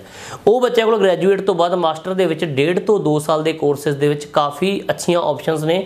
ਬੱਚੇ 1.5 ਸਾਲ ਦੇ ਕੋਰਸ ਜਾ ਸਕਦੇ ਨੇ 2 ਸਾਲ ਦੇ ਕੋਰਸ ਜਾਣਾ ਚਾਹੁੰਦੇ ਨੇ। ਪਰ ਜਿਹੜੇ ਬੱਚੇ ਧਿਆਨ ਰੱਖਣ ਵਾਲੀ ਗੱਲ ਇਹ 'ਚ ਇਹ ਹੈ ਕਿ ਜਿਹੜਾ 1.5 ਸਾਲ ਦੇ ਕੋਰਸ ਨੇ ਉਹ 'ਚ ਤੁਹਾਨੂੰ PSW ਅਲਾਉਡ ਨਹੀਂ ਹੋਊਗਾ। PSW ਮੀਨਸ ਪੋਸਟ ਸਟੱਡੀ ਜਿਹੜਾ ਵਰਕ ਪਰਮਿਟ ਹੈ ਉਹ 1.5 ਸਾਲ ਦੇ ਕੋਰਸ ਵਿੱਚ ਅਵੇਲੇਬਲ ਨਹੀਂ ਹੁੰਦਾ। ਬੱਚੇ ਗੱਲ ਦੇ ਉੱਤੇ ਗੌਰ ਕਰਨ ਧਿਆਨ ਦੇਣ। ਕੋਈ ਵੀ ਕੰਸਲਟੈਂਟ ਨੂੰ 1.5 ਸਾਲ ਦੇ ਕੋਰਸ 'ਚ ਭੇਜ ਰਿਹਾ ਤਾਂ ਤੁਹਾਨੂੰ ਉੱਥੇ ਜਾ ਕੇ ਪੋਸਟ ਸਟੱਡੀ ਵਰਕ ਪਰਮਿਟ ਨਹੀਂ ਮਿਲਣਾ। ਇਸ ਕਰਕੇ ਬੱਚੇ ਗੱਲਾਂ ਧਿਆਨ 'ਚ ਰੱਖ ਕੇ ਚੱਲਣ। ਦੂਜੇ ਪਾਸੇ ਜਿਹੜੇ ਬੱਚਿਆਂ ਨੇ ਇੱਥੇ ਮਾਸਟਰਸ ਕੀਤੀ ਹੋਈ ਹੈ ਆਲਰੇਡੀ ਕੋਈ ਬੱਚਾ ਐਮਕਾਮ ਹੈ ਕੋਈ ਬੱਚਾ ਐਮਬੀਏ ਹੈ ਕਿਸੇ ਨੇ ਕੋਈ ਐਮਏ ਇੰਗਲਿਸ਼ ਕੀਤੀ ਹੈ ਐਮਏ ਹਿੰਦੀ ਕੀਤੀ ਹੈ ਕਿਸੇ ਤਰ੍ਹਾਂ ਦੀ ਜਿਹੜੀ ਮਾਸਟਰਸ ਕੀਤੀ ਹੋਈ ਹੈ ਉਹਨਾਂ ਬੱਚਿਆਂ ਲਈ ਉੱਥੇ 1 ਸਾਲ ਦੇ ਗ੍ਰੈਜੂਏਟ ਡਿਪਲੋਮਾ ਅਵੇਲੇਬਲ ਨੇ। ਉਹਨਾਂ ਬੱਚਿਆਂ ਲਈ ਉੱਥੇ ਮਾਸਟਰ ਤੋਂ ਬਾਅਦ ਐਮਬੀਏ ਫਾਈਨਾਂਸ ਅਵੇਲੇਬਲ ਹੈ ਐਮਬੀਏ ਐਚਆਰ ਅਵੇਲੇਬਲ ਹੈ। ਇੱਕ ਇੱਕ ਸਾਲ ਦੇ ਕਾਫੀ ਇਹੋ ਜਿਹੇ ਕੋਰਸ ਨੇ ਇੱਕ ਤੋਂ ਡੇਢ ਸਾਲ ਦੇ। ਉਹ ਬੱਚੇ ਜਿਹੜੇ ਮਾਸਟਰਸ ਵਾਲੇ ਬੱਚੇ ਨੇ ਉਹ ਇੱਕ ਤੋਂ 2 ਸਾਲ ਵਾਲੇ ਕੋਰਸ ਦੇ ਵਿੱਚ ਅਪਲਾਈ ਕਰਕੇ ਉਹਨਾਂ ਨੂੰ ਪੀਐਸਡਬਲਿਊ ਉੱਥੇ ਮਿਲ ਸਕਦਾ ਉਹ ਬੱਚੇ ਪੀਆਰ ਦਾ ਜਿਹੜਾ ਟਾਈਮ ਹੈ ਉਹਨਾਂ ਦਾ ਉਹ ਵੀ ਜਲਦੀ ਆਉਂਦਾ ਪਰ ਬਸ਼ਰਤੇ ਜਿਹੜੇ ਮਾਸਟਰਸ ਵਾਲੇ ਬੱਚੇ ਨੇ ਜਿਹੜੇ ਮਾਸਟਰਸ ਤੋਂ ਬਾਅਦ ਜਾ ਰਹੇ ਨੇ ਉਹਨਾਂ ਨੂੰ ਆਸਟ੍ਰੇਲੀਆ ਦੇ ਲਈ ਘੱਟੋ ਘੱਟ ਜਿਹੜੀ ਬੈਂਡ ਰਿਕੁਆਇਰਮੈਂਟ ਹੈ ਉਹ 6.5 ਹੈ। ਤਾਂ ਨਾਟ ਲੈਸ ਦੈਨ ਈਚ ਮੋਡਿਊਲ ਜਿਹੜੀ ਉਹ 6 ਹੈ। ਸਪਾਊਸ ਨੂੰ ਵੀ ਨਾਲ ਲਿਜਾ ਸਕਦੇ ਨੇ ਜਿਹੜੇ ਬੱਚੇ ਮਾਸਟਰਸ ਵਾਲੇ ਜਾ ਰਹੇ ਨੇ ਜਾਂ ਜਿਹੜੇ ਬੱਚੇ ਗ੍ਰੈਜੂਏਟ ਕੁਲਦੀਪ ਜੀ, ਬਿਲਕੁਲ। ਜਿਹੜੇ ਬੱਚੇ ਗ੍ਰੈਜੂਏਸ਼ਨ ਕਰਕੇ ਮਾਸਟਰ ਲਈ ਜਾ ਰਹੇ ਨੇ, ਜੇਕਰ ਉਹਨਾਂ ਸਪਾਊਸ ਨਾਲ ਹੈ ਕਿਸੇ ਦੀ ਹਸਬੰਡ ਜਾਂ ਕਿਸੇ ਦੀ ਵਾਈਫ ਨਾਲ ਹੈ, ਉਹਨੂੰ ਡਿਪੈਂਡੈਂਟ ਵੀਜ਼ਾ ਮਿਲੂਗਾ। 24 ਆਵਰਸ ਇੱਕ ਬੰਦਾ ਜਿਹੜਾ ਡਿਪੈਂਡੈਂਟ ਵੀਜ਼ੇ ਦੇ ਅੰਡਰ ਕੰਮ ਕਰ ਸਕਦਾ ਹੈ। ਬੇਸ਼ੱਕ ਬੱਚਾ ਗ੍ਰੈਜੂਏਟ ਹੈ, ਬੱਚਾ ਮਾਸਟਰ ਮਾਸਟਰ ਕਰਨ ਲਈ ਜਾ ਰਿਹਾ ਹੈ, ਬੱਚਾ ਮਾਸਟਰ ਹੈ, ਅੱਗੇ ਪੀਜੀ ਡਿਪਲੋਮਾ ਲਈ ਜਾ ਰਿਹਾ ਹੈ, ਬੱਚਾ ਅੱਗੇ 1 ਇਅਰ ਦੇ ਕੋਰਸਿਸ ਦੇ ਵਿੱਚ ਜਾ ਰਿਹਾ ਡੇਢ ਡੇਢ ਇਅਰ ਦੇ ਕੋਰਸ ਵਿੱਚ ਜਾ ਰਿਹਾ ਤਾਂ ਉਹ ਬੱਚੇ ਆਪਦੇ ਜਿਹੜੇ ਇੱਥੋਂ ਉਹਨਾਂ ਦਾ ਸਪਾਊਸ ਹੈ, ਉਹਨਾਂ ਦਾ ਡਿਪੈਂਡੈਂਟ ਹੈ, ਉਹਨੂੰ ਨਾਲ ਕੈਰੀ ਕਰਕੇ ਦੋਨੇ ਨਾਲ ਇਕੱਠੇ ਜਾ ਸਕਦੇ ਨੇ। ਜਿਹੜਾ ਨਾਲ ਵਾਲਾ ਕੁਲਦੀਪ ਜੀ ਡਿਪੈਂਡੈਂਟ ਵੀਜ਼ਾ ਤੇ ਹੋਊਗਾ 24 ਆਵਰਸ ਵਰਕ ਪਰਮਿਟ ਹੈ। ਕੁਲਦੀਪ ਜੀ ਸਟੂਡੈਂਟ ਹੈਗਾ ਦੂਜੇ ਪਾਸੇ। ਜੇ ਡਿਪੈਂਡੈਂਟ ਨੂੰ 24 ਆਵਰਸ ਵਰਕ ਪਰਮਿਟ ਅਵੇਲੇਬਲ ਹੈ ਸਟੂਡੈਂਟ ਨੂੰ ਇੱਕ ਹਫ਼ਤੇ ਦੇ ਵਿੱਚ ਵੀਕਲੀ ਮੈਂ ਕਹੂੰਗਾ 20 ਘੰਟੇ ਕੰਮ ਅਵੇਲੇਬਲ ਹੈ। ਸਟੂਡੈਂਟ ਇਸ ਤੋਂ ਜ਼ਿਆਦਾ ਕੰਮ ਨਾ ਕਰਨ ਇਲੀਗਲ ਨਾ ਹੋਣ ਚੰਗੇ ਤਰੀਕੇ ਨਾਲ ਚੱਲਣ ਤਾਂ ਕਿ ਜਿਹੜੀ ਕੱਲ ਨੂੰ ਪੀਆਰ ਦੇ ਆਪਸ਼ਨਸ ਨੇ ਉਹ ਵਧੀਆ ਰਹਿਣ ਤੇ ਸੁਚੱਜੇ ਢੰਗ ਨਾਲ ਜਿਹੜਾ ਆਪਦੀ ਇੱਕ ਸੈਟਲਮੈਂਟ ਉੱਥੇ ਕਰ ਸਕਣ। ਜੀ 3-4 ਮਿੰਟ ਦਾ ਸਮਾਂ ਬਚਿਆ। ਜਿਹੜੇ ਵਿਦਿਆਰਥੀ ਕੈਨੇਡਾ ਜਾਂ ਆਸਟ੍ਰੇਲੀਆ ਨਹੀਂ ਜਾ ਸਕਦੇ ਆਇਲਸ ਦੀ ਜਿਹੜੇ ਘੱਟ ਬੈਂਡ ਆਉਣ ਕਰਕੇ ਵਾਰ-ਵਾਰ ਜਾਂ ਪਰਸੈਂਟੇਜ ਘੱਟ ਜਾਂ ਕਾਫੀ ਜ਼ਿਆਦਾ ਗੈਪ ਹੋ ਚੁੱਕਾ ਜਾਂ ਬਜਟ ਜਾਂ ਫੰਡ ਨਹੀਂ ਹੈ ਜਿਨ੍ਹਾਂ ਦੇ ਕੋਲ ਨਾ ਉਹ ਬੱਚਿਆਂ ਦੇ ਕੋਲ ਕੀ ਆਪਸ਼ਨ ਨੇ ਜਿਹੜੀਆਂ? 3 ਮਿੰਟ ਦਾ ਸਮਾਂ ਬਚਿਆ ਜਾਂਦੇ ਜਾਂਦੇ ਕੁਲਦੀਪ ਜੀ ਦੋ ਆਪਸ਼ਨਸ ਬਚਦੇ ਨੇ ਉਹਨਾਂ ਬੱਚਿਆਂ ਕੋਲੇ। ਪਹਿਲੀ ਆਪਸ਼ਨ ਹੈ ਕੁਲਦੀਪ ਜੀ ਸਿੰਗਾਪੁਰ, ਦੂਜੀ ਆਪਸ਼ਨ ਹੈ ਸਾਈਪ੍ਰਸ। ਸਿੰਗਾਪੁਰ ਦੇ ਉੱਤੇ ਕੁਲਦੀਪ ਜੀ ਨੂੰ ਥੋੜਾ ਜਿਹਾ ਬੱਚਿਆਂ ਨੂੰ ਜ਼ੋਰ ਦੇ ਕੇ ਸਮਝਾਉਣਾ ਚਾਹੂੰਗਾ, ਜਿਹੜੇ ਬੱਚਿਆਂ ਦਾ ਪਲੱਸ 2 14 ਪਾਸ ਆਊਟ ਨੇ 15 ਪਾਸ ਆਊਟ ਨੇ 16 ਪਾਸ ਆਊਟ ਨੇ, ਉਹਨਾਂ ਦੇ ਬੈਂਡ ਘੱਟ ਰਹਿ ਗਏ, ਉਹਨਾਂ ਕੋਲ ਫੰਡਸ ਦੀ ਆਪਸ਼ਨਸ ਨਹੀਂ ਅਵੇਲੇਬਲ ਹੋਈ ਜਾਂ ਕਿਤੇ ਨਾ ਕਿਤੇ ਕੋਈ ਕਮੀਆਂ ਰਹਿ ਗਈਆਂ, ਕੋਈ ਪ੍ਰੋਬਲਮ ਆ ਗਈ, ਚਾਹੇ ਕੋਈ ਫੈਮਿਲੀ ਪ੍ਰੋਬਲਮ ਸੀ ਜਾਂ ਕੋਈ ਵੈਸੇ ਪ੍ਰੋਬਲਮ ਆ ਗਈ ਉਹ ਬੱਚੇ ਜੇਕਰ ਆਸਟ੍ਰੇਲੀਆ ਜਾਣਾ ਚਾਹੁੰਦੇ ਨੇ, ਕੈਨੇਡਾ ਜਾਣਾ ਚਾਹੁੰਦੇ ਨੇ, ਯੂ ਐਸ ਏ ਜਾਣਾ ਚਾਹੁੰਦੇ ਨੇ ਯੂਕੇ ਜਾਣਾ ਚਾਹੁੰਦੇ ਨੇ, ਉਹ ਇੱਥੋਂ ਜਾ ਨਹੀਂ ਪਾ ਰਹੇ, ਇੱਥੋਂ ਪੋਸੀਬਿਲਿਟੀ ਨਹੀਂ ਪੋਸੀਬਿਲਿਟੀ ਨਹੀਂ ਬਣ ਰਹੀਆਂ ਆਇਲਸ ਘੱਟ ਹੈ, ਜ਼ਿਆਦਾ ਘੱਟ ਆਇਲਸ ਆਇਲਸ ਕੀਤੀ ਨਹੀਂ ਹੋਈ। ਉਹ ਬੱਚੇ ਸਿੰਗਾਪੁਰ ਤੋਂ ਪਾਥਵੇ ਆਪਸ਼ਨ ਲਈ ਜਾ ਸਕਦੇ ਨੇ। ਬੱਚੇ ਨੂੰ ਇਹ ਨਹੀਂ ਕਿ ਪਾਥਵੇ ਆਪਸ਼ਨ ਇਹ ਹੈ ਕਿ ਪਾਥਵੇ ਸਿਰਫ ਕਹਿਤਾ ਕਿ ਪਾਥਵੇ ਤੇ ਉੱਥੇ ਜਾ ਕੇ ਤੁਸੀਂ ਪਾਥਵੇ ਤੇ ਤੁਹਾਨੂੰ ਜਾਂਦੇ ਨੂੰ ਜਹਾਜ਼ ਖੜਾ ਤੁਸੀਂ ਜਹਾਜ਼ ਤੇ ਚੜ ਜਾਣਾ ਕੁਲਦੀਪ ਜੀ, ਜਿਹੜਾ ਬੱਚਾ ਇੱਥੋਂ ਜਾਊਗਾ, ਜਾ ਕੇ ਉਹਨੂੰ ਘੱਟੋ ਘੱਟ ਇੱਥੋਂ ਬ- 12 ਤੋਂ ਲੈ ਕੇ 18 ਮਹੀਨੇ ਦੀ ਸਟੱਡੀ ਕਰਨੀ ਪਊਗੀ। ਡਿਪਲੋਮਾ ਐਡਵਾਂਸ ਡਿਪਲੋਮਾ ਕਰਨੇ ਪੈਣਗੇ। ਉਸ ਤੋਂ ਬਾਅਦ ਜੋ ਐਲੀਜੀਬਿਲਟੀ ਉੱਥੋਂ ਹੋਈ, Australia, Canada, U S A ਜਾਂ ਕਿਸੇ ਵੀ ਕੰਟਰੀ ਜਿਹੜਾ ਬੱਚਾ ਅੱਗੇ ਮੂਵ ਹੋਣਾ ਚਾਹੁੰਦਾ ਹੈ, ਉਹ ਐਲੀਜੀਬਿਲਟੀ ਬੱਚਾ ਪੂਰੀ ਕਰਕੇ ਉੱਥੋਂ ਈਜ਼ੀਲੀ ਜਾ ਸਕਦਾ ਹੈ। ਫਾਇਦਾ ਕੁਲਦੀਪ ਜੀ ਨੂੰ ਕੀ ਹੋਊਗਾ? ਬੱਚਾ ਤੋਂ ਡਾਇਰੈਕਟ ਜਾ ਨਹੀਂ ਪਾ ਰਿਹਾ ਕਿਉਂਕਿ ਐਲਸ ਕੰਪਲੀਟ ਨਹੀਂ ਹੈ। ਬੱਚੇ ਕੋਲ ਥੋੜੀ ਦਿੱਕਤ ਹੈ। ਜਦੋਂ ਬੱਚਾ ਉੱਥੇ ਜਾਊਗਾ, ਸਾਲ ਸਵਾ ਸਾਲ ਪੜੂਗਾ ਉਹਦੀ ਇੰਗਲਿਸ਼ ਵਧੀਆ ਹੋ ਜਾਊਗੀ, ਬੱਚਾ ਐਲਸ ਈਜ਼ੀਲੀ ਦੇ ਲੂਗਾ ਪਲੱਸ ਜਿਹੜਾ ਬੱਚੇ ਦਾ ਗੈਪ ਪਿਆ ਉਹਨੂੰ ਗੈਪ ਕਿਤੇ ਦਿਖਾਉਣਾ ਨਹੀਂ ਪਊਗਾ। ਉਹਦੀ ਇੱਕ ਲੇਟੈਸਟ ਜਿਹੜੀ ਡਿਗਰੀ ਹੋਊਗੀ ਸਿੰਗਾਪੁਰ ਵਾਲੀ ਹੋਊਗੀ। ਉਹਦੇ ਬੇਸ ਤੇ ਬੱਚਾ ਜਾ ਕੇ, ਕਿਸੇ ਵੀ ਜਾ ਕੇ ਸੈਟਲ ਹੋ ਸਕਦਾ U S A U K Canada ਜਾਂ ਨਿਊਜ਼ੀਲੈਂਡ ਆਸਟ੍ਰੇਲੀਆ ਜਿੱਥੇ ਵੀ ਬੱਚੇ ਦੀ ਇੱਕ ਮਨਸ਼ਾ ਹੈ। ਦੂਜੇ ਪਾਸੇ ਕੁਲਦੀਪ ਜੀ, ਗੱਲ ਆਪਾਂ ਕਰਦੇ ਹਾਂ ਥੋੜੀ ਜਿਹੀ, ਜਿਵੇਂ ਤੁਸੀਂ ਦੱਸਿਆ ਕਿ ਸਮਾਂ ਬਹੁਤ ਘੱਟ ਹੈ। ਸਾਈਪਰਸ ਦੀ ਜਿਹੜੇ ਬੱਚੇ ਪਲੱਸ 2 ਪਾਸ ਨੇ 10th ਪਾਸ ਨੇ, ਬੱਚਿਆਂ ਦਾ ਗੈਪ 10 12 ਸਾਲ ਦਾ ਹੋ ਚੁੱਕਿਆ, ਬੱਚਿਆਂ ਕੋਲੇ ਫੰਡ ਨਹੀਂ ਹੈਗੇ ਜਾਂ ਬੱਚਿਆਂ ਕੋਲ ਪਰਿਵਾਰਕ ਦਿੱਕਤ ਹੈ, ਜ਼ਿਆਦਾ ਪੈਸਾ ਨਹੀਂ ਲਾ ਸਕਦੇ। ਉਹ ਬੱਚੇ ਕਿ 3.5 4 ਲੱਖ ਰੁਪਏ ਲਾ ਕੇ ਇੱਕ ਵਧੀਆ ਕਾਲਜਸ ਦੇ ਵਿੱਚ ਵਧੀਆ ਕੰਟਰੀ ਹੈ ਯੂਰੋਪੀਅਨ ਯੂਨੀਅਨ ਦਾ ਪਾਰਟ ਹੈ, ਤੁਹਾਨੂੰ ਵਧੀਆ ਕੰਮਕਾਰ ਦੀ ਆਪਸ਼ਨਸ ਹੈਗੀਆਂ, ਵਧੀਆ ਸਟੱਡੀ ਦੇ ਆਪਸ਼ਨਸ ਹੈਗੇ। ਉਹ ਬੱਚੇ ਅਗਰ ਸਤੰਬਰ, ਅਕਤੂਬਰ ਇਨਟੇਕ ਦੇ ਲਈ ਇੱਥੋਂ ਜਾ ਸਕਦੇ ਨੇ। ਇੱਕ ਤੋਂ 2 ਮੰਥ ਦਾ ਜਿਹੜਾ ਪ੍ਰੋਸੈਸ ਹੈ, ਉਹ ਬੱਚਿਆਂ ਦਾ ਰਹੂਗਾ। ਬੱਚਿਆਂ ਨੇ ਕੋਈ ਵੀ ਕਿਸੇ ਤਰ੍ਹਾਂ ਦੀ ਫੀਸ ਉਹਦੇ ਵਿੱਚ ਪਹਿਲਾਂ ਨਹੀਂ ਦੇਣੀ। ਆਫਟਰ ਵੀਜ਼ਾ ਫੀਸ ਦੇ ਆਪਸ਼ਨ ਨੇ, ਬੱਚਾ ਆਫਟਰ ਵੀਜ਼ਾ ਫੀਸ ਦੇ ਸਕਦਾ ਹੈ। ਆਪਦੀ ਟਿਕਟ ਲੈ ਕੇ ਬੱਚਾ ਈਜ਼ੀਲੀ ਫਲਾਈ ਕਰ ਸਕਦਾ ਹੈ। ਤੋ ਪੈਕੇजेस ਦੇ ਵਿੱਚ ਡੀਲ ਕੀਤਾ ਜਾਂਦਾ ਜਦੋਂ ਸਿੰਗਾਪੁਰ ਜਾਂ ਸਾਈਪ੍ਰਸ ਦੀ ਗੱਲ ਆਉਂਦੀ ਪਰ ਪੈਕੇਜ ਵੀ ਕੋਈ 1.5 ਲੱਖ 2 ਲੱਖ ਤੋਂ ਸ਼ੁਰੂ ਹੋ ਕੇ ਸਿੰਗਾਪੁਰ ਦੇ 3.5 ਜੀ 4 ਜਲਦੀ ਲੱਖ ਜਲਦੀ ਤੱਕ ਹੋ ਟਾਈਮ ਜਾਂਦੇ ਘੱਟ ਹੈ ਮੈਂ ਤੁਹਾਨੂੰ ਦੱਸ ਦੇਣਾ ਚਾਹੂੰਗਾ। ਪੈਕੇਜ ਜੇਕਰ ਸਿੰਗਾਪੁਰ ਸਾਈਪਰਸ ਬੱਚਾ ਪੈਕੇਜ ਜਾਣਾ ਚਾਹੁੰਦਾ ਬੱਚਾ ਇਸ ਪੈਕੇਜ 'ਚ ਜਾ ਸਕਦਾ ਪਰ ਬਸ਼ਰਤਾ ਬਸ਼ਰਤੇ ਬੱਚਾ ਦੇਖੀਏ ਕਿ ਕੀ ਪੈਕੇਜ ਦੀ ਕੋਸਟ ਦੇਖ ਲੇ ਕਿ ਤੁਹਾਨੂੰ ਜੇ ਕੰਸਲਟੈਂਟ ਤੁਸੀਂ ਪੈਕੇਜ ਕਾਊਂਟ ਕਰ ਲਓ ਕਿ ਜੇ ਤੁਹਾਨੂੰ ਕੰਸਲਟੈਂਟ ਨੂੰ 2.5 ਲੱਖ ਪੈ ਰਿਹਾ ਤੁਹਾਨੂੰ 3.5 ਲੱਖ ਦਾ ਤਾਂ ਨਹੀਂ ਵੇਚ ਰਿਹਾ। ਤੁਸੀਂ ਕਾਊਂਟ ਕਰ ਲਓ ਜੇਕਰ ਤੁਹਾਨੂੰ ਆਪਣੇ ਬਜਟ ਦੇ ਵਿੱਚ ਲੱਗ ਰਿਹਾ ਤੁਸੀਂ ਪੈਕੇਜ ਕਰੋ। ਅਦਰਵਾਈਜ਼ ਤੁਸੀਂ ਸਟੈਪ ਬਾਏ ਸਟੈਪ ਚੀਜ਼ਾਂ ਪੇ ਕਰਦੇ ਜਾਓ ਤੇ ਆਪਦਾ ਜਿਹੜਾ ਵੀਜ਼ਾ ਉੱਥੇ ਲੈ ਸਕਦੇ ਹੋ। ਨੋਮੀਨਲ ਪੈਕੇਜ ਕਿੰਨਾ ਰਹਿੰਦਾ? ਕੁਲਦੀਪ ਜੀ, ਜਿਹੜਾ ਪੈਕੇਜ 1.5 2 ਲੱਖ ਦੇ ਪੈਕੇਜ ਆਪਾਂ ਸੁਣ ਰਹੇ ਨਾ ਕੁਲਦੀਪ ਜੀ, ਉਹ ਚ ਕੀ ਹੈ ਕਿ ਬੱਚੇ ਨੂੰ ਕਹਿੰਦਾ ਥੋੜਾ ਜਿਹੜਾ ਪੈਕੇਜ ਹੈ 1.5 ਲੱਖ ਦਾ। ਬੱਚਾ ਵੀ ਆ ਜਾਂਦਾ ਕਿ ਇੱਕ ਕੰਸਲਟੈਂਟ ਹੈ, ਉਹ ਮੈਨੂੰ 3 ਲੱਖ ਦਾ ਪੈਕੇਜ ਕਹਿ ਰਿਹਾ, ਇਹ ਮੈਨੂੰ 1.5 ਲੱਖ ਦਾ ਕਹਿ ਰਿਹਾ। ਬੱਚਾ 1.5 ਲੱਖ ਵੱਲ ਭੱਜੂਗਾ। ਬੱਚੇ ਨੇ ਕੁਝ ਨਹੀਂ ਪੁੱਛਣਾ ਕਿ ਤੁਸੀਂ ਕੀ ਕਰ ਰਹੇ ਹੋ। ਜਦੋਂ ਬੱਚਾ ਸਿੰਗਾਪੁਰ ਪਹੁੰਚੂਗਾ, ਉਦੋਂ ਪਤਾ ਲੱਗੂਗਾ ਕਿ 9 ਮਹੀਨੇ ਦੀ ਫੀਸ ਸੀ, ਫੀਸ ਹੀ 3 ਮਹੀਨੇ ਦੀ ਆਈ ਹੈ। ਇਹ ਚੀਜ਼ਾਂ ਧਿਆਨ ਚ ਰੱਖ ਕੇ ਬੱਚਾ ਪੈਕੇਜ ਅਪਲਾਈ ਕਰੇ। ਪੈਕੇਜ ਤੋਂ ਪਹਿਲਾਂ ਆਪਦੀ ਫੀਸ ਦੇਖ ਲੇ, ਮੇਰੀ ਫੀਸ ਕਿੰਨੀ ਪੇ ਹੋਈ ਹੈ। ਜੀ। ਸੋ ਸ਼ੁਕਰੀਆ ਧੰਨਵਾਦ ਸਰ ਸ਼ੋਅ ਦੇ ਵਿੱਚ ਆਉਣ ਲਈ ਸਾਰੀ ਜਾਣਕਾਰੀ ਧੰਨਵਾਦ ਕੁਲਦੀਪ ਜੀ ਸਾਰੇ ਦਰਸ਼ਕਾਂ ਦਾ ਬਹੁਤ ਬਹੁਤ ਧੰਨਵਾਦ ਜੀ ਜੀ ਸੋ ਮਾਫੀ ਚਾਹਾਂਗਾ ਸਮਾਂ ਖਤਮ ਹੋਣ ਕਰਕੇ ਜਿਹੜੀ ਗੱਲਬਾਤ ਨੂੰ ਅੱਗੇ ਨਹੀਂ ਜਾਰੀ ਰੱਖ ਸਕਦੇ ਪਰ ਤੁਹਾਡੇ ਲਈ ਸਮੇਂ ਦੀ ਕੋਈ ਵੀ ਲਿਮਿਟੇਸ਼ਨ ਨਹੀਂ ਕਿਸੇ ਵੀ ਵੇਲੇ ਕਾਲ ਕਰ ਸਕਦੇ ਹੋ ਮੈਸੇਜ ਕਰ ਸਕਦੇ ਹੋ ਐਜੂਕੇਸ਼ਨ ਅਬਰੋਡ ਦੀ ਸਾਰੀ ਟੀਮ 24 ਘੰਟੇ 7 ਦਿਨ ਤੁਹਾਡੀ ਸੇਵਾ ਦੇ ਵਿੱਚ ਇਸ ਪ੍ਰੋਗਰਾਮ ਦੇ ਜ਼ਰੀਏ ਵੀ ਇੱਕ ਵਾਰ ਫਿਰ ਤੋਂ ਕੋਸ਼ਿਸ਼ ਕਰਾਂਗੇ ਅਗਲੇ ਐਪੀਸੋਡ ਦੇ ਵਿੱਚ ਜਤਿੰਦਰ ਜੀ ਨੂੰ ਜਿਹੜਾ ਸੱਦਾ ਦਈਏ ਸਾਡੇ ਤੱਕ ਵੀ ਤੁਸੀਂ ਆਪਣੇ ਕੁਐਰੀਜ਼ ਪਹੁੰਚਾ ਸਕਦੇ ਹੋ ਇਮੀਗ੍ਰੇਸ਼ਨ ਅਪਡੇਟਸ ਤੇ ਫੇਸਬੁੱਕ ਪੇਜ ਨੂੰ ਲਾਈਕ ਕਰਕੇ ਮੈਸੇਜ ਕਰਕੇ ਗੱਲਬਾਤ ਕੀਤੀ ਜਾ ਸਕਦੀ। ਸੋ ਉਹ ਵਿਦਿਆਰਥੀ, ਉਹ ਦਰਸ਼ਕ ਜਿਹੜੇ 7:30 ਵਜੇ ਇਸ ਪ੍ਰੋਗਰਾਮ ਨੂੰ ਦੇਖ ਰਹੇ ਨੇ ਕੱਲ ਦੇ ਦਿਨ 12:30 ਵਜੇ ਦੁਪਹਿਰ ਫਿਰ ਤੋਂ ਇਹ ਪ੍ਰੋਗਰਾਮ ਰਿਪੀਟ ਕੀਤਾ ਜਾਏਗਾ। ਦੁਬਾਰਾ ਵੀ ਦੇਖਿਆ ਜਾ ਸਕਦਾ ਫਿਲਹਾਲ ਦੇ ਲਈ ਪ੍ਰੋਗਰਾਮ ਨੂੰ ਖਤਮ ਕਰਦੇ ਹਾਂ। ਮੈਨੂੰ ਤੇ ਆ ਗਿਆ ਸਤਿ ਸ਼੍ਰੀ ਅਕਾਲ।